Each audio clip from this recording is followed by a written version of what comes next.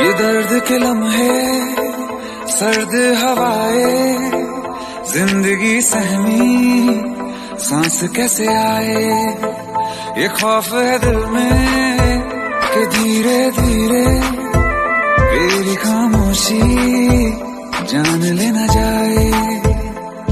किस मोड़ पे ज़िंदगी ले आई बेवजह?